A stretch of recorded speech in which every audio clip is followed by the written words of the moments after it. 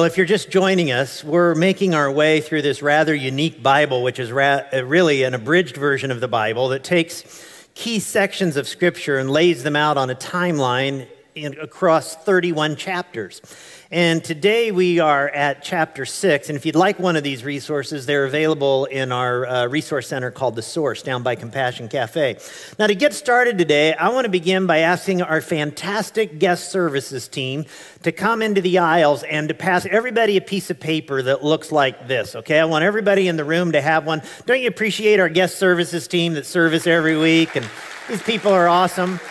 And uh, I want you to get a piece of paper and find something to write with. I think there's some pens and some of the cup holders around there. If you want to grab one and pass them down, or maybe you brought one with you that you can pull out. But I want everybody to have a piece of paper and everybody have something to write with. And I don't want you to use this to take notes on today. If you have a place to take notes, use uh, there's a there's a page in your uh, program for that. You can use that. Now, we've all heard the phrase over the course of our life the shortest distance between two points is a straight line, yeah. So I want to ask you to first of all draw a straight line at the top of your piece of paper, and kind of put a beginning point on it like this and an ending point like this. The shortest distance between point A and point B is a straight line. Now, many of you know that uh, every summer for many years, my family has traveled to northern Minnesota where we vacation and, and I do my study break on a beautiful lake up there. And when we were living in Las Vegas for a number of years, we always drove to Minnesota in the summer. And uh, I'm embarrassed to admit this with so many guys in the room for fear I might get my man card pulled, but we, we actually drove a conversion van that looked almost identical to this one right here. Oh, yeah, isn't that embarrassing? And uh, it was 1,700 miles there and 1,700 miles back. And I didn't want to take the scenic route, I didn't want to take the wandering route. I wanted to take the shortest route. I wanted to get there.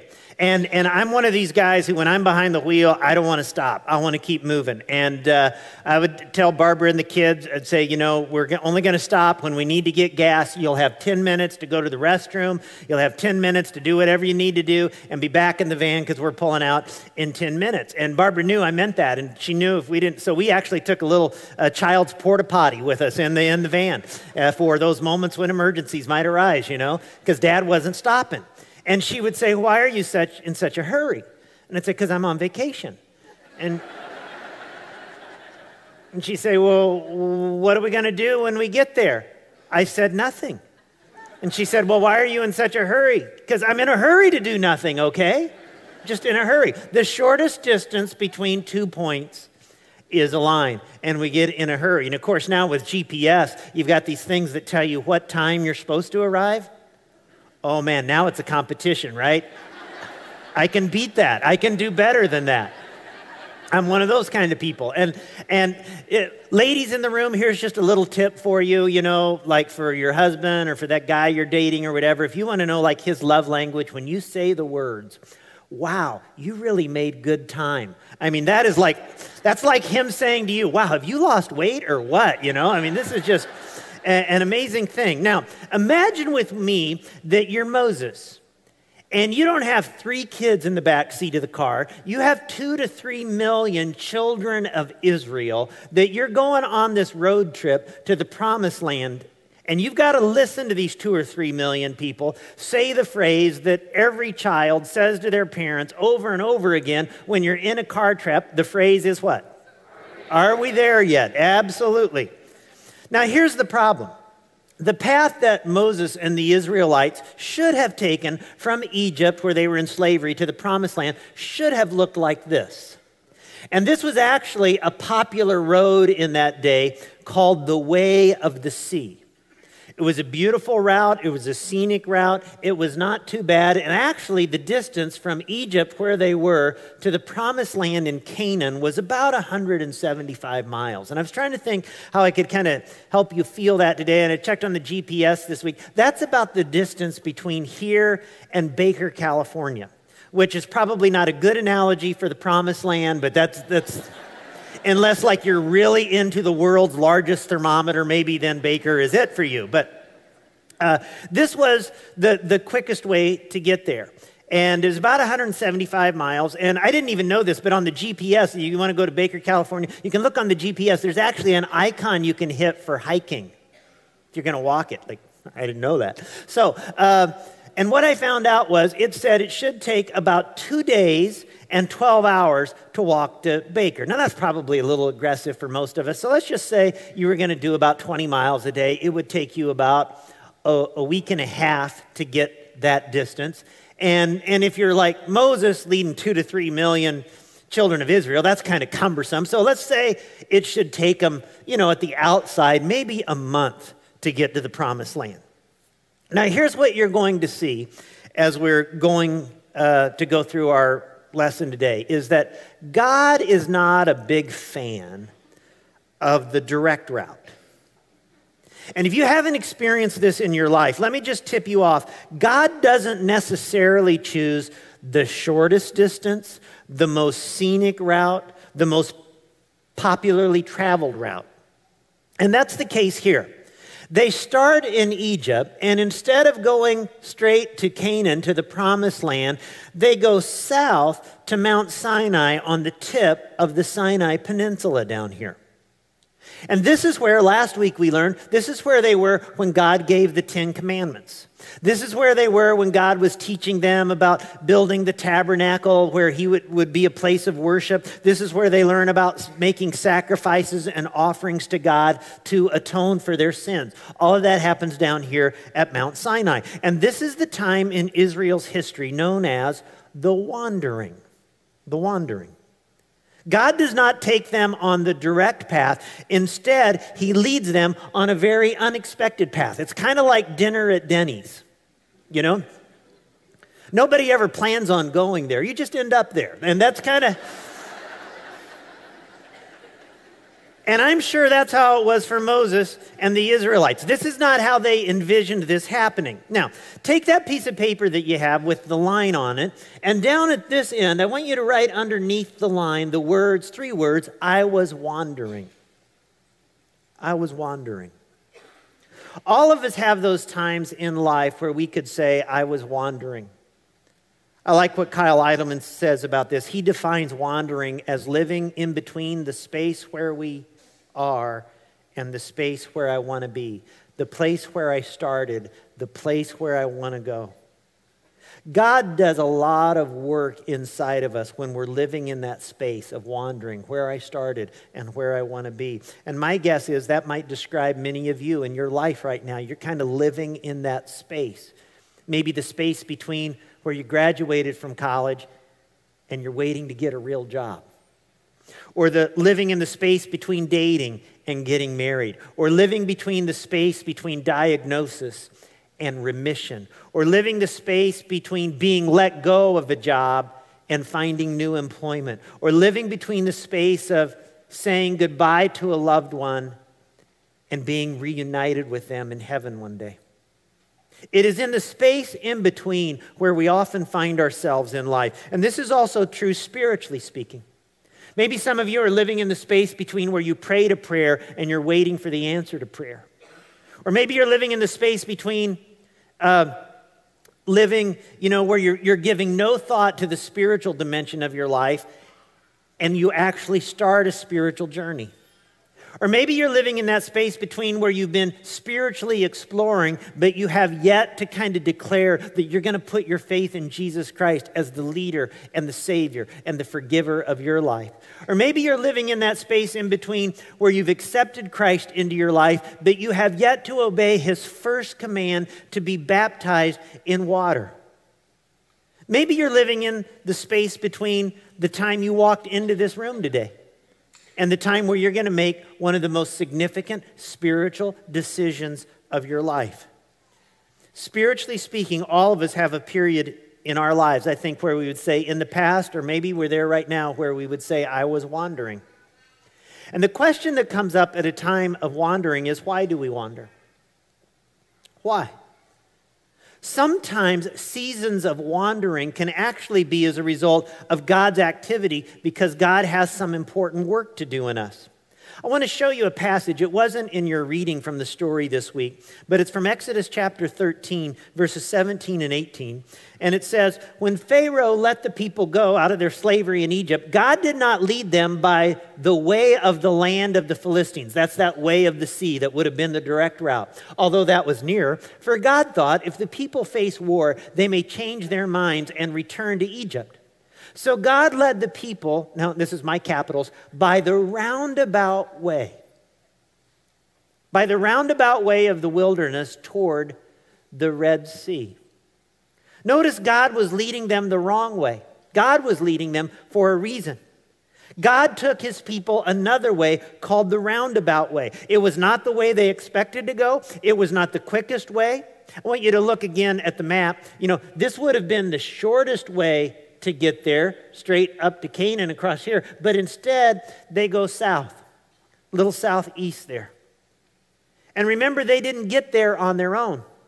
They didn't just get lost and wander here. They're following the cloud that guided them in the daytime, the pillar of fire, you know, that guided them at night. And this is where God led them to Mount Sinai. So imagine how surprised they were when, you know, they think they're going to the promised land and the pillar leads them the wrong way the wrong way. They must have thought, our pillar is directionally challenged. Something is wrong with this. The pillar was leading them into the desert, not to the promised land flowing with milk and honey. It was leading them to the last place in the world they would ever want to go. And this created the great crisis of the book of Exodus. Will I follow God even when I don't understand? Will I follow God when He's taking me to a place that doesn't make sense? Will I follow God when He leads me on the roundabout way? Now, as I said at the front end of the service today, we're going to do spontaneous baptisms when we conclude our service today. And I'm confident that God is calling not just some of you, I really believe that God is calling many of you, many of you to make this decision. And some of you are thinking, well, that just seems so odd. Why would I go out of my way to do that? Because your Savior, Jesus Christ, asked you to go out of the way to do that. Because your Savior, Jesus Christ, went out of the way. He went out into the wilderness to be baptized by his cousin, John the Baptist, in the Jordan River. He went out of the way. He set the example for you. He's not asking you to do anything that he wasn't willing to do first. You see, I really believe that God's pillar of fire is leading many of you today, going to lead you right over here to these baptism waters that are to my left, to your right. And you're going to make one of the most significant decisions of your life today because it's where God is leading you. God took the Israelites to the desert, to Mount Sinai, to help them avoid war with the Philistines. But I think there was an additional reason God brought them down here. I think after 400 years in Egypt, generations of them had lived in Egypt, I think God had to do some detox for them. Remember, they had lived in a land of many gods. They had lived in a land of idol worship. And I think God says, We've got some business to do. I got to recalibrate your heart. I got to recalibrate your soul spiritually before you're ready to enter into the promised land. You see, God is more concerned with who you are becoming than where you're going. God is more concerned with who you are becoming than where you're going. And God is not in a hurry. God has never been in a hurry. Some of you remember we looked at a few weeks ago when God called Abraham, said, You're going to be the father of a great nation. And it was decades later before he had a son. Joseph, maybe you remember the story of Joseph a few weeks ago. Joseph, he has this dream of his brothers bowing down to him, but then he's sold as a slave. He's falsely accused. He becomes a prisoner. And it's years later when he's elevated to be the, like the vice president of Egypt, and his brothers come and bow down at a time of famine. David was anointed king, but it would be 20 years before he was actually crowned king. Moses spent 40 years in the desert until he saw a burning bush. But we all hate to wait, right? I mean, we hate to wait. In fact, let's do a little quiz on this. Raise your hand if you're a hurried kind of person, okay? Just no, not yet. I'm going to do the question, okay? you couldn't even wait, could you? Now let's do a little quiz, okay? Here's, here's statement number one. I've cut through a gas station to avoid stopping at a red light. Be honest, how many of you? Gosh, almost everybody in the room. Number two, people from the South who talk really slowly irritate me. Anybody on that one? Yeah. Could you just say it? Could you just say it?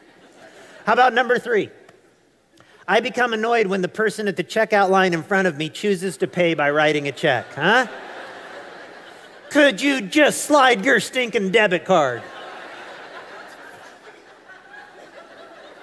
Number four, I often find myself finishing other people's sentences for them. Anybody? Okay, how about number five? When I'm delayed or running late, I'm irrationally upset. Be honest. How many of you want to nominate your spouse for this one? Just go ahead. How about this last one? Number six, I feel compelled to leave church early to beat the parking lot rush.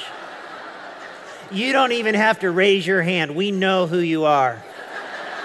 We're just going to wave at you on the way out today, okay? It's fine. It's fine. We hate to wait. We don't like the journey. We just want to get to the destination. But at some point, whether you're a follower of Jesus or not, I'm going to say that you can pretty much be guaranteed you're going to spend some time in the desert. You're going to learn the slow, roundabout way of God. Now, after a year at this pit stop in Mount Sinai, they're ready for their journey. And Deuteronomy chapter 1, verse 2, we read what their GPS should have said that it takes 11 days to go from Horeb to Kadesh Barnea by the Mount Seir road. That's what the GPS should have said. It should take 11 days. But how long did it take? 40 years, 39 more years from this point. The subtitle of this sermon should be When Your 11 Day Trip Takes 40 Years. Here's how their journey ended up looking. yeah. Can you imagine how Moses must have felt? The GPS says 11 days and you're like on, you know, 39 more years. You know what I think the word was that Moses hated hearing the most? Recalculating. Why do we wander? Well, sometimes we wander like they did when they came down to Mount Sinai because God had a work that He needed to do in them and He brought them there. But other times, if we're honest about it, we wander because we're lost. We thought we knew where we were going. We thought we knew the road there. We thought maybe if I go down this road, it's going to take me to a certain place. Maybe if I go down this relational road, it will take me there. Maybe if I go down this professional road, it'll take me there. This financial road, this spiritual road, this moral road, it will take me there. But it took you to a place where it was totally different, and you ended up frustrated because it's not where you wanted to be, it's not where you planned to be, it's not where you hoped you would be.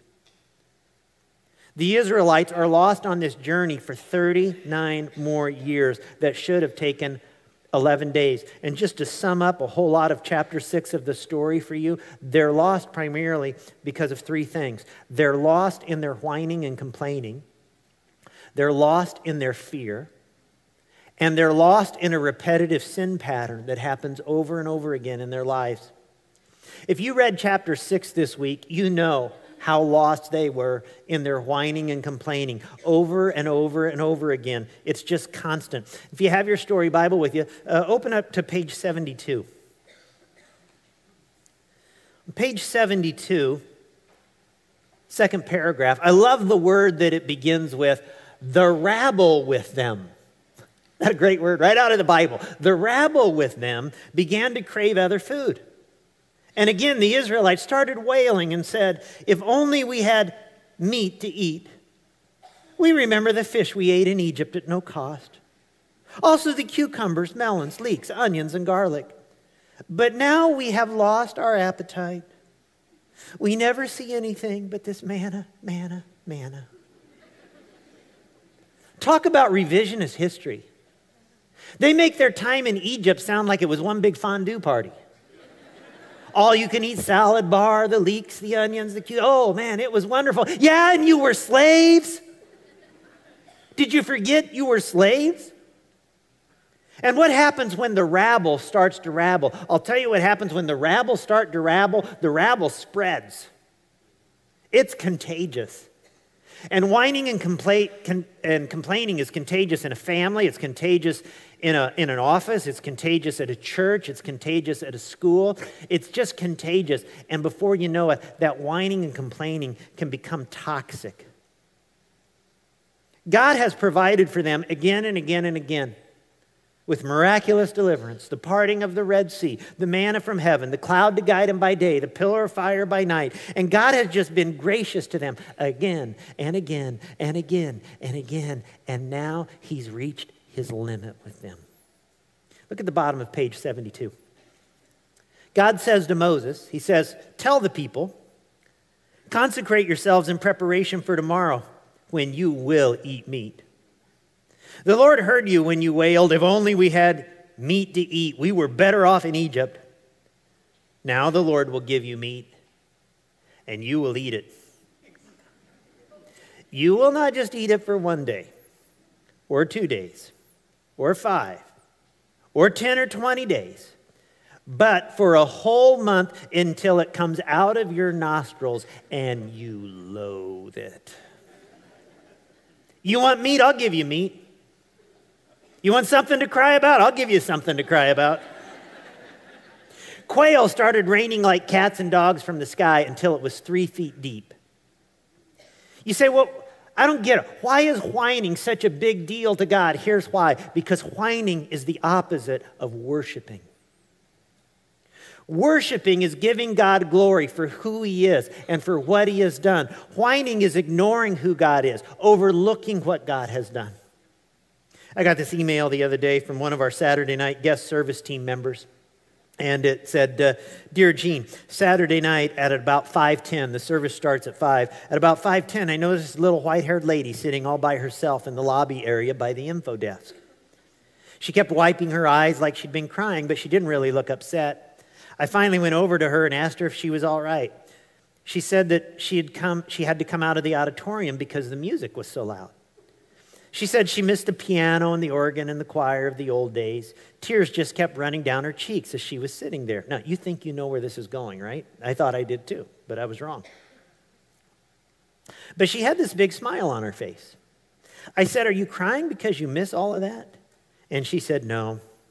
I'm crying because I get so emotional when I see all these young people and families coming into the church.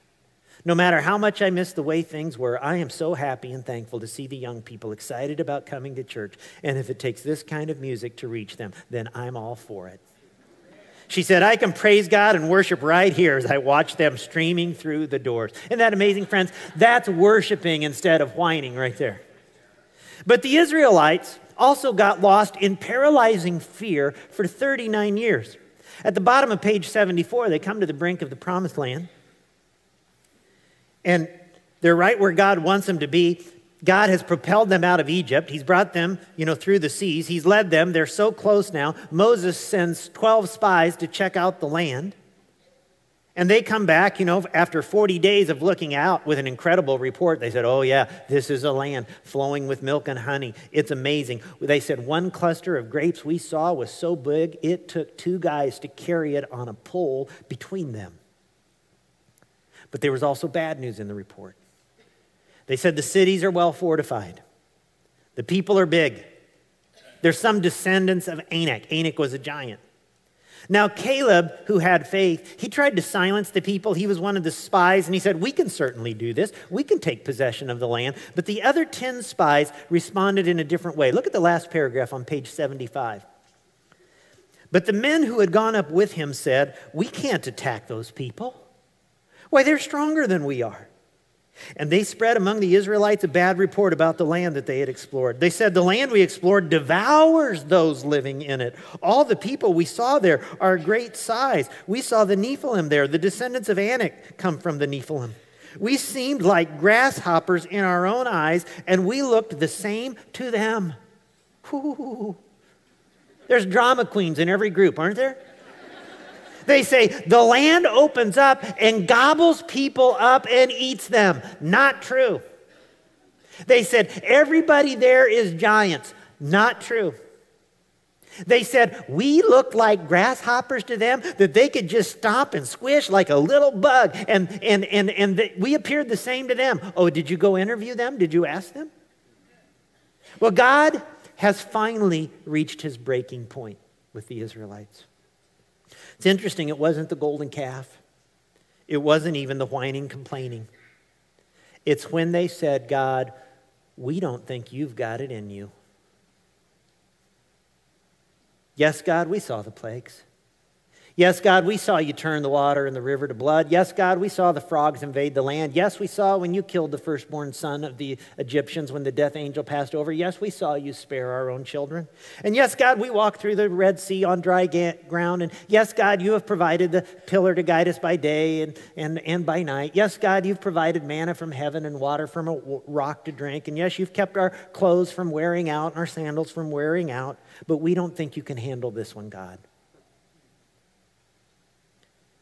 Do you ever wonder how it feels to God when you say to Him, Oh God, I don't know if you can handle this one? My family, my son, my finances, my past. I don't know if you can handle it, God. The Israelites were lost in their whining and complaining. They were lost in their fear. And then they were 39 years later still lost in the same repetitive sin pattern in their lives. Turn quickly to page 78. About two thirds of the way down the page. It says, Now, there was no water for the community. And the people gathered in opposition to Moses and Aaron. They quarreled with Moses and they said, If only we had died when our brothers fell dead before the Lord. Why did you bring the Lord's community into this wilderness and, and we and our livestock, that we and our livestock should die here? Why did you bring us up out of Egypt to this terrible place? It has no grain or figs, grapevines or pomegranates, and there is no water to drink. Now, I want you to get this right. Does that sound familiar? This is 40 years later. Nothing has changed. They're still playing the same record. They're still singing the same song after 40 years.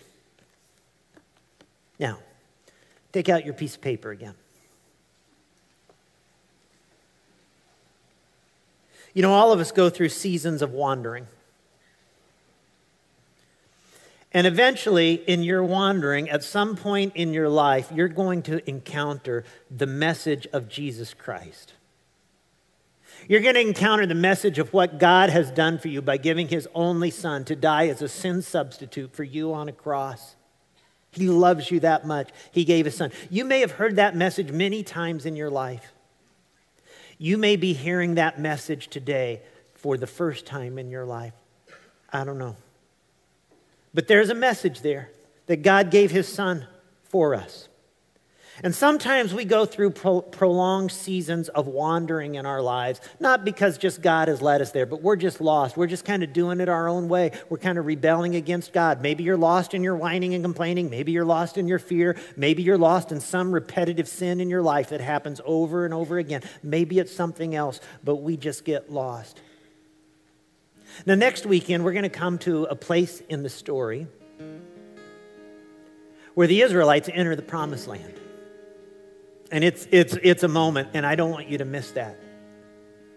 But I was thinking about this this week as I was preparing. What if today became, spiritually speaking, in your life that day for you?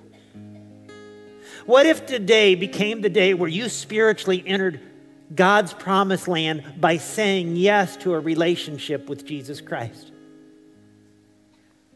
I want to ask you to write something else on this side. I want to ask you to write these three words I was found, and then just put a line there. I was found. You know, many of you, you know exactly what to put on that line because when you look back in your life and you think about the day you bowed your knee to Jesus Christ and surrendered to Him, you know the time, you know the season, you might know the year, you might know the, the date, but it's very real and very personal to you.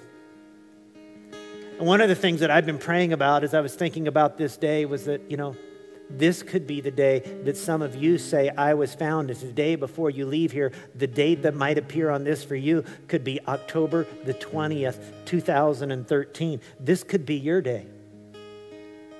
This could be the day you say yes to Jesus Christ. This could be the day that maybe you've already said yes to Jesus Christ, but you have yet to obey him in his first command to be baptized, and, and you want to get that all sorted out today.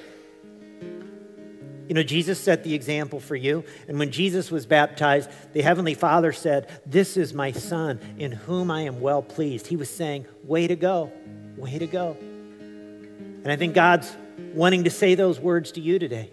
Way to go, my son. Way to go, my daughter. Do this to fulfill all righteousness. That's why Jesus did it.